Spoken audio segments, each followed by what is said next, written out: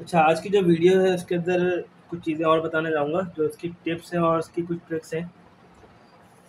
Suppose कर लें कि आपके पास वही सर्किट है, जो कि अभी हमने प्रीवियस वीडियो में बनाया था, ठीक है? अब होता क्या है? अब बाय डिफ़ॉल्ट या बाय डिफ़ॉल्ट कह रहा हूँ, मुझसे कोई कनेक्शन गलत हो जाता है, ठीक है? लेट सपोज़ कि मेरे से ये वाला जो कनेक्शन है, वो गलत हो गया। आप इसको ओपन किस तरीके से करेंगे? आपके पास सोल्डर है सबसे पहले तो देख लें कि गर्म हुआ हुआ है या नहीं हुआ।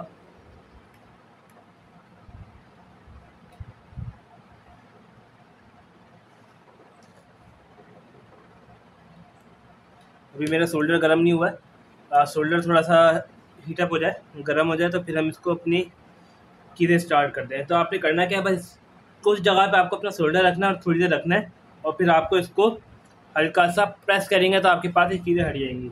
कैसे? जैसे कि आपके पास शोल्डर है, आपने इसको प्रेस किया और जैसे ही हल्का सा लूज होना शुरू होगा, आपने इसको इसको इस तरीके से प्रेस करना है आगे की तरफ़ या किसी भी तरफ़ जहाँ पे आपको लगे कि आपका जो पोजीशन है वो बिल्कुल ठीक होगी, अगर मैं इसको इस तरीके से करूँगा। ठीक है?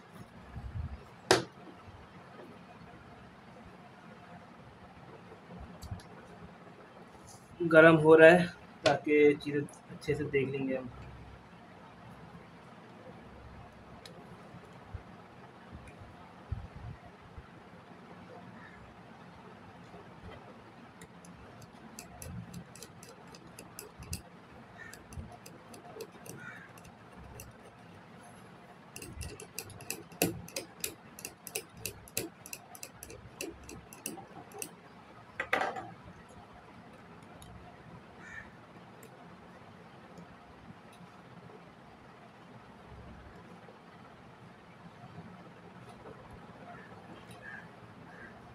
अभी ठीक से खैर गर्म हुआ नहीं, मैं आपको सिर्फ़ बताना चाह रहा हूँ।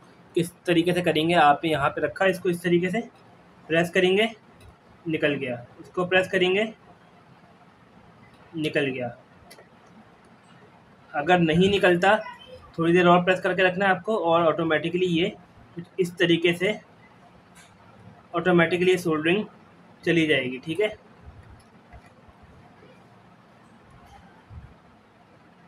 अभी बाकी है, थोड़ी सी सोल्डरिंग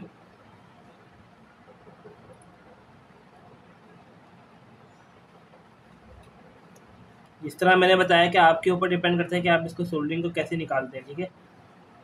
तो बस मैं वही बताना चाह रहा हूँ, ताकि कुछ इशू हो तो आप उसको निकाल सकेंगे इजीली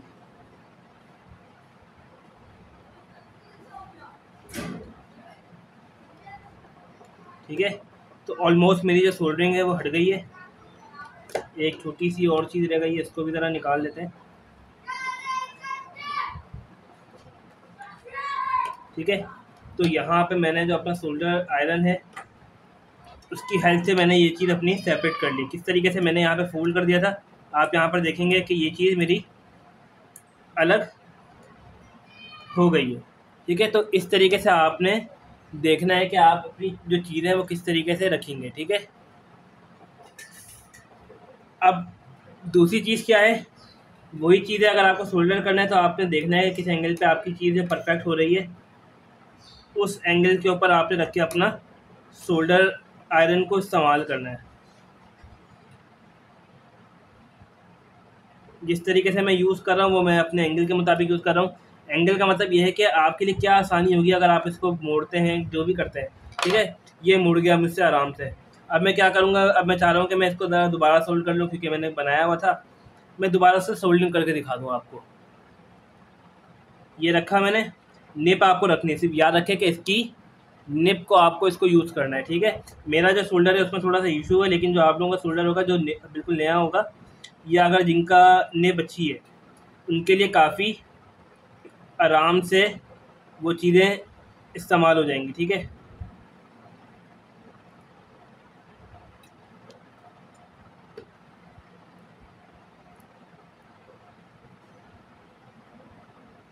इसको मैंने यहाँ पे पकड़ के रखा और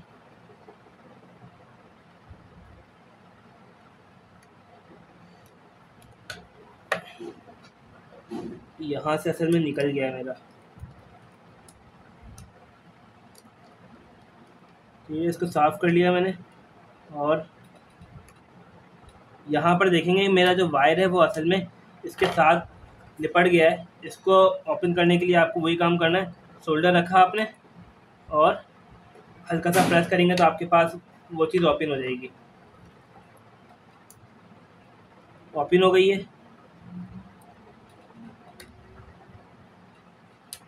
ठीक है? दोबारा रखते हैं इसको यहाँ पर।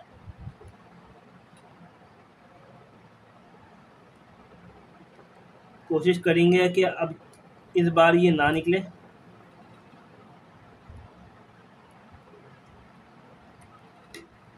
ये अभी भी हल्का सा लूज़ है, ठीक है? तो इसको करने के लिए हम करते क्या हैं? शोल्डर लूँगा मैं यहाँ पर।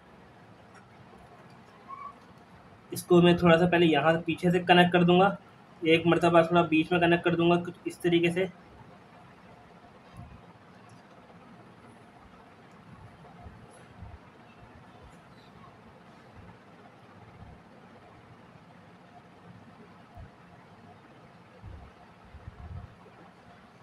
ठीक है। अब यहाँ पर इसको मैं कुछ इस तरीके से कर दूँगा।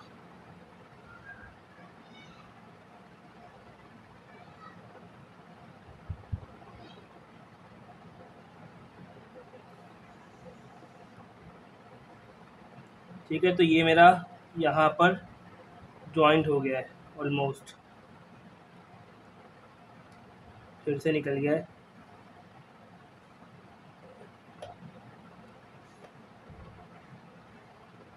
ठीक है? तो इसको मैंने इसकी निप के ऊपर जो इसकी जो निप थी, मैंने इसके ऊपर इसको रख के सोल्ड कर दिया अभी फ़िलहाल। ठीक है? मेरा जो शोल्डर है, उसमें इशू है, क्योंकि मेरे जो निप पे इसको रख के काम करना होता है। आज की जो वीडियो में जो पर्पज़ है वो मेन पर्पज़ सारा का सारा यही है कि आज डायोड है, क्योंकि जो डिफरेंट कोर्सेज हैं, उसके अंदर आपको डायोड वगैरह आईसीज वगैरह इसको सोल्ड करना पड़ता है, ठीक है? तो क्या करते हैं हम? एक मिनट में ज़रा अपने जो निप है, उसको ज़रा साफ़ कर लूँ ताकि मुझे कोई इशू ना हो आगे।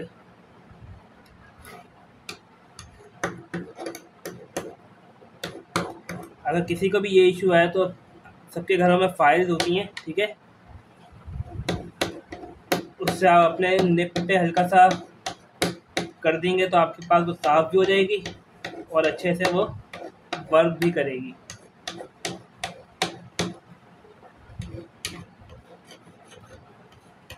ये इशू मेरे साथ बहुत आता है तो मैं ये काम करता रहता हूँ, हाथ के हाथ। ठीक है? तो ये काम मैंने कर लिया, साफ़ कर ली इसको निब, ठीक है? अब आ जाते हैं डायोड के कनेक्शन के ऊपर। अभी मुझे इसमें से कुछ नहीं पता पॉजिटिव नेगेटिव क्या है, क्योंकि मैं जो मेरा जो मेन काम है, वो आपको सिखाना है कि सोल्ड किस तरीके से होता है, ठीक है? सपोज़ कर लेते हैं कि ये वाला जो पॉइंट है, वो मेरा कौन सा है? पॉजिटिव है, ये वाला। ठीक है? और ये वाला मेरे पास है नेगेटिव तो मैं इसको इस तरीके से लगाऊँगा कि थोड़ा सा खूबसूरत सा ही दिखे मुझे ये सर्किट अपना। इसको मैंने यहाँ रखा और मैंने यहाँ से इसको पीछे की तरफ़ ओपन कर दिया है। और अगर थोड़ा सा इशू कर रहा हो आप टेस्टर की मदद से, आपने इसको इस तरीके से कर लेना है। ये हो गया। यहाँ पर आप देखेंगे तो आपके पास एक लेग ये आ गई है और एक लेग ये आ गई है। अब आप क्या करें? थोड़ा सा बिठाने के लिए आप यहाँ पे सोल्डरिंग कर सकते हैं। अगर किसी को रोल के साथ इशू होता है तो आप क्या करें? इसको हल्का सा पकड़ के निकालेंगे तो ये टूट जाएगा, ठीक है? तो आप इतने से पीस ऑफ़ वायर को भी इस्तेमाल कर सकते हैं। मैंने इसको पकड़ लिया। यहाँ रखूँगा। तो देखें, बिल्कुल निप पे मेरा अब ये काम कर रहा है, जब मैंने फ़ाइल यूज़ की है। तो ये इशू मेरे साथ हमेशा आता है। तो ये मैं अपने जो फ़ंक्शन को खुद ही रिजॉल्व कर लेता हूँ कि किस तरीके से मुझे सेट करना है। यहाँ पे मैंने इसका कनेक्शन अभी कर दिया है। अब हम क्या करते हैं? अब हम ऐसा करते हैं कि जो इसकी जो लैग है पॉजिटिव वाली, जो आप ये देख पा रहे हैं, इसको मैं कनेक्ट करता हूँ कुछ इस तरीके से कि ये इसके साथ ज्वाइंट हो जाए ठीक है? कि वो इस वाले के साथ ज्वाइंट हो जाए। अगर आप देखें, इसको मैं यूँ भी ज्वाइंट कर सकता हूँ, लेकिन बीच में कनेक्शन थोड़ा सा रह जाएगा। तो हमने इसको अपनी तरफ़ मोड़ लिया है कुछ इस तरीके से। अब हम यहाँ पर सोल्डरिंग करते हुए चले जाएँगे। आपने ये पकड़ा वायर। वही निप लेनी है इसकी। निप लेनी है। निप पे रखा है जॉइंट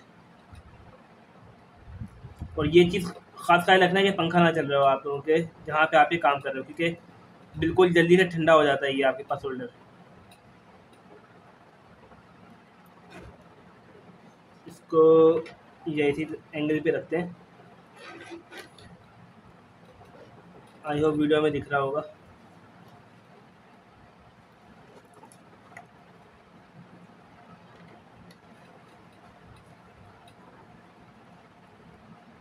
ठीक है, इस तरह रखना है। सोल्ड होता हुआ चले जाएगा। निप पे आपको रखना है, ताकि आपका जो ये वायर है, ये भी इस जगह से नहीं हिलेगा। अगर आप इस तरीके से सोल्डरिंग कर देंगे तो।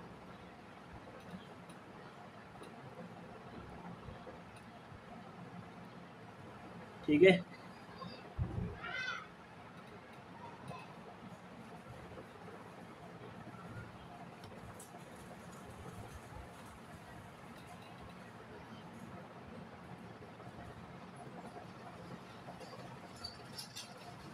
अब आप यहाँ पर देखेंगे, मैं इसको थोड़ा साफ़ कर दूँ। इसको भी यहाँ से साफ़ कर दूँ। बीच में हल्का सा मेरे पास गैप है, अब मुझे इसको फिल करना है। अब मैं उसको सोल्डरिंग की मदद से इसको फिल कर दूँगा ताकि इसकी कनेक्टिविटी क्या हो जाएगी। मेंटेन रहेगी। इसको मैं गया यहाँ पर, ये रखा मैंने। इस तरह ज्वाइन किया और इसको मैं अब ज्वाइन कर दूँगा इसके साथ, इस वायर के साथ।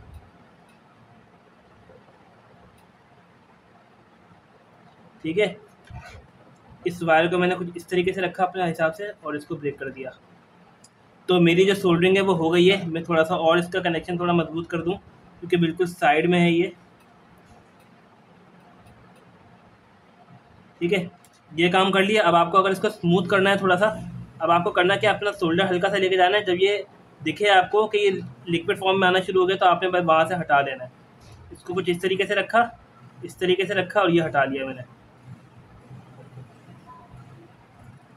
तो आप देखेंगे पहले कितनी रफ सी थी। पहले ही आपको कुछ इस तरीके से दिख रहा था। मैंने पहली वीडियो में आपको इस तरह की सोल्डिंग करनी नहीं बताई कि ये किस तरीके से करते हैं, ठीक है? तो ये वन बाय वन ही हम लोग सीखते हैं कि किस तरीके से हम इसको सोल्डिंग और अच्छी बेहतरीन कर सकते हैं।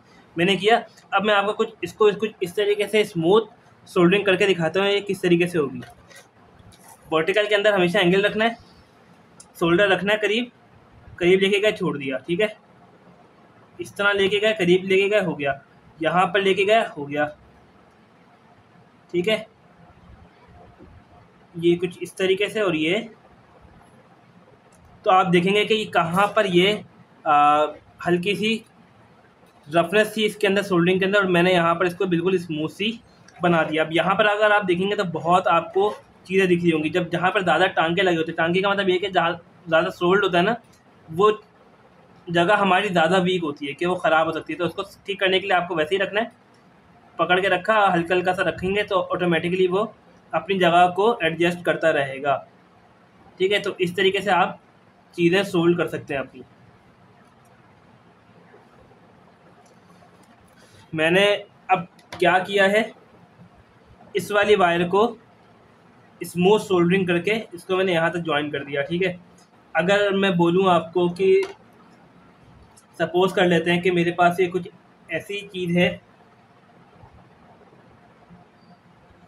मैंने यहाँ पर ये दिखाने के लिए ऐसी इसको कुछ इस तरीके से मैं प्लेस कर लेता हूँ। मैंने ये इसको इस तरीके से लगा दिया, ठीक है? अब मैं सपोज़ करता हूँ कि जो मेरी वायर है, ये काफ़ी दूर है, ठीक है? अगर आप यहाँ पर देख पा रहे हों, मैं सपोज़ कर रहा हूँ कि जो मेरी ये वायर है, ये काफ़ी दूर है। ठीक है, इसको मैं इस तरीके से फोल्ड कर देता हूँ और इसको मैं कुछ इस तरीके से फोल्ड कर देता हूँ।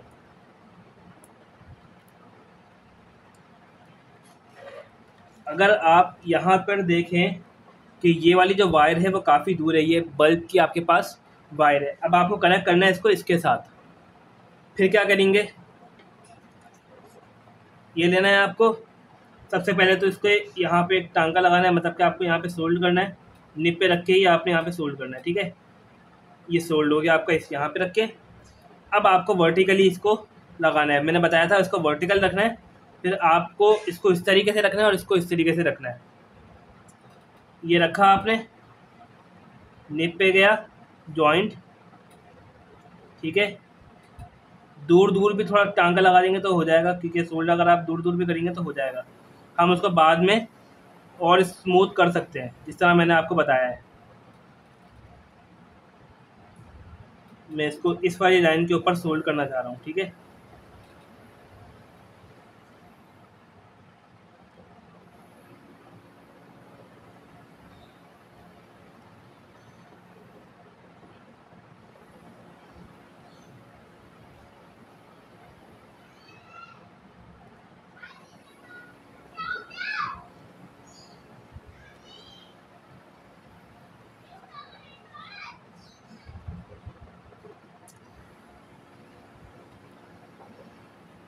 अब इसको यूँ रखा आपने हल्का सा रखा और ये जॉइंट हो जाएगा। पकड़ के रखना है, जिस तरह मैंने आपको बताया था।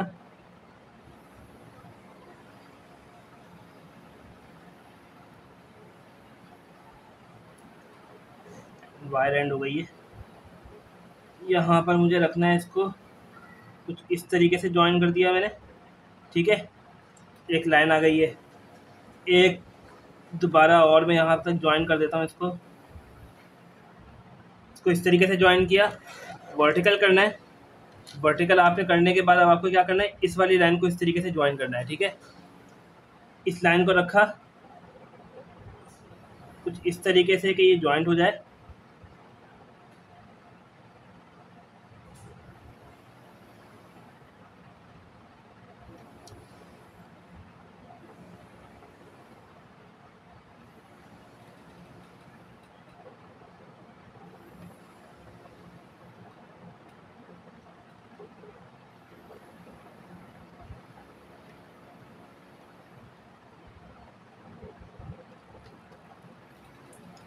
तरह रखना है और इसके साथ ज्वाइन करते हुए लेते हुए आना है।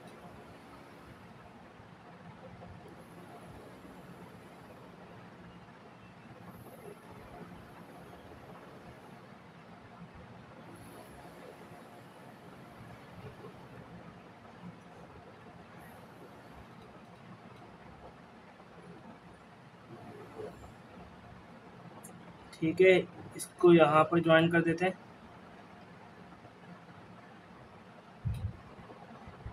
एक सोल्ड और यहाँ कर देते हैं। यहाँ पे कुछ अभी इस तरीके से कर लिया, ठीक है? इसको सेट करते हुए चलते हैं पहले। ये बड़ा टांगा था तो इसको यूँ रखना है और कुछ ये इस तरीके से जॉइंट हो गया, ठीक है? इस तरीके से रखना है कि आपके पास ये जॉइंट होते हुए सब चीज़ें चली जाए। ठीक है? यहाँ पर आएँगे वर्टिकली मैं इसको रखूँगा। इसको मैं कुछ इस तरीके से रखूँगा और यहाँ पर सोल्ड करते हुए चले जाऊँगा।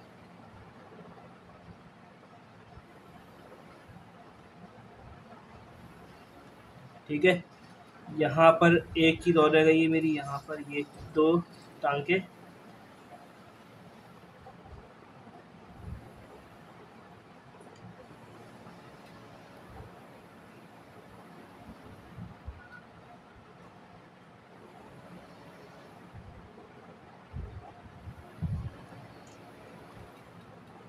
तरह रखना है।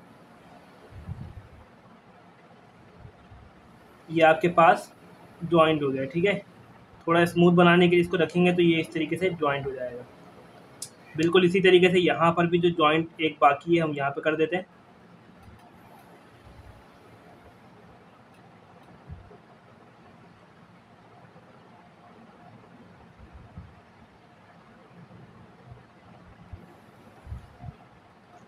ठीक है?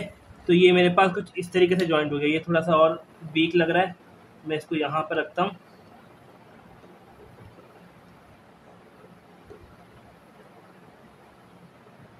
ये मेरे पास कुछ इस तरीके से जॉइंट हो गया और ये मेरे पास यहाँ पर जॉइंट हो गया। ठीक है? तो आज की वीडियो में हमने सिर्फ़ ये दो टेक्निक देखी है कि किस तरीके से आप इनके सोल्डरिंग को रिमूव कर सकते हैं। दूसरी चीज़ ये कि आप अगर कनेक्टिविटी करीब नहीं है तो इसकी कनेक्टिविटी को कैसे करीब कर सकते हैं? तो मैंने इसको यहाँ से लेकर इसको यहाँ तक ज्वाइन किया है, ठीक है? तो इस चीज़ का ख़ास ख्याल रखना है। अब आप बेशक आप चाहें तो यहाँ पर वायर लगा सकते हैं।